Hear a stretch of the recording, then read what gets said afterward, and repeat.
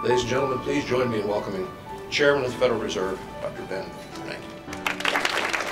People of George Washington, I think we have one of the best speakers that we can have to talk about food as an industry.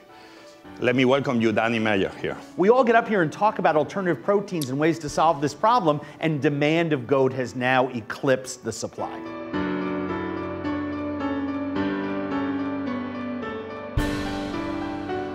When we gather students in a classroom, what is it that we do there that's special enough to merit building a classroom and having everyone come to it?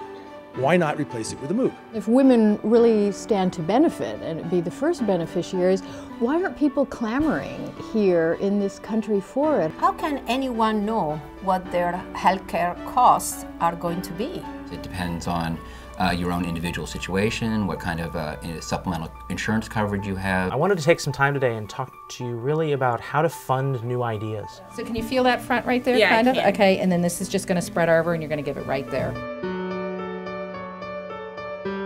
It's especially important if you're scanning for bone density to make sure all the jewelry is off the body.